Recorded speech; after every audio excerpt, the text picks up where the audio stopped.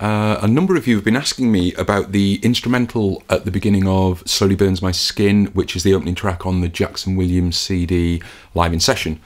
Um, it started out as an instrumental piece that I wrote and it, I developed it into a, a band song in the end. Uh, but it has this beautiful little um, sort of one minute instrumental before the band kicking at the beginning.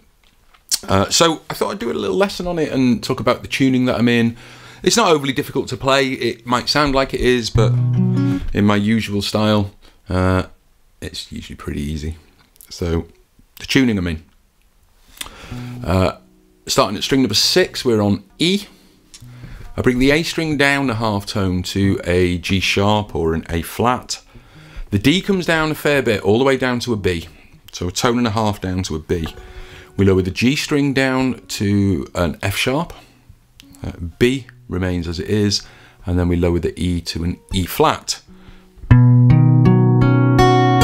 Capo on 7, obviously my trusty G7 capo, uh, available from the Skeet Guitar and the Jackson Williams shop on both Instagram and Facebook. Uh, so yeah, if you want to buy the world's best capo with either a Jackson Williams or a Skeet Guitar logo on it, they are available. Like I said, I'll post a link below perhaps. Okay, so we've got our trusty G7 capo at fret number seven. Uh, and we're working really around three chord shapes. So maybe we'll start with showing you what the chord shapes are. So the first chord, we take our middle finger, we place it on fret number four on string six, that's the lower string, string nearest to our head.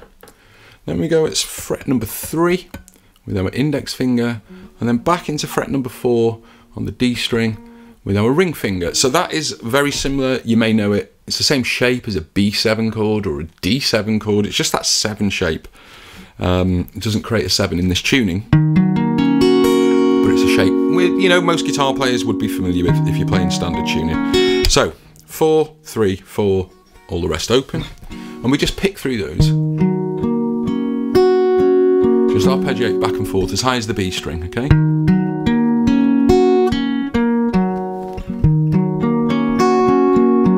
Next chord, relatively easy. Uh, it's literally second fret, second fret, second fret, all the rest open.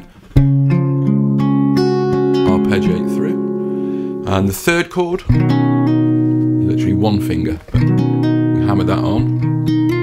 Hammer up to four. So we hammer on at two. This on string three, the G string. And then I do these pull off four, two, O and then roll up on the D string, string number 4024. Roll off. Okay. Now we introduce the high string. We introduce another finger now into this chord. So we're two, two, two, open, then we go back onto two here with the ring finger, that's on the B string.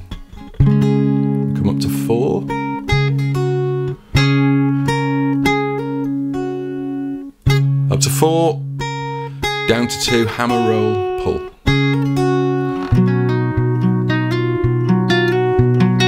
Then we just start walking up a scale then on string three, our G string, so it goes hammer onto two, hammer onto four, slide to five, slide to seven.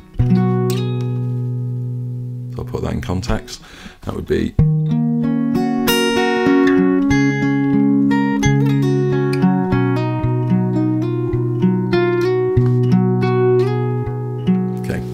You've rolled up on the third finger, you're just going to want to pull that back to fret number five, throw this finger on fret number four on the B string. That's it. Then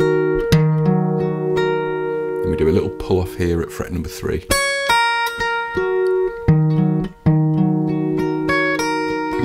Back to here.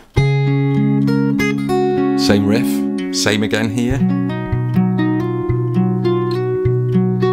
So we're going hammer two, hammer four, slide five, slide seven. Uh, and then on the final pass through, uh, the chord is open from string five, open on string four, fret four on the G string. Sorry. It's open on the A string, fret four on the D string, fret two on the G string, open, open. Again.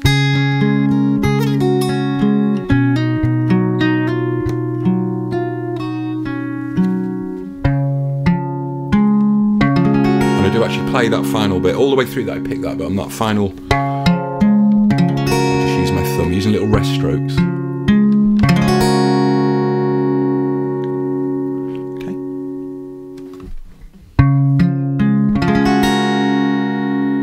So, uh, if you want to learn how to play that, hopefully there's enough information in that video. If not, send me a message, guys, and I will absolutely happily answer any questions for you. It's great tuning, play along with it anyway. It's a bit limiting, you know, it's only good for maybe sort of four chord songs, I suppose, four or five chord songs. Uh, but I've had a lot of fun with it. I've written two or three songs in this tuning. Uh, I've also arranged um, a very famous folk song, uh, a contemporary modern folk song uh, in this tuning, which Jackson Williams will be releasing soon, certainly probably before the end of the summer. It's nearly finished. Uh, yeah, and it's sounding good. So, yeah, thanks for tuning in, guys. Uh, do leave me a comment. I hope you found this useful. If there's anything uh, I haven't covered in there, if I've missed something, just let me know. You know how you're getting on with it. And yeah, enjoy it. See you soon.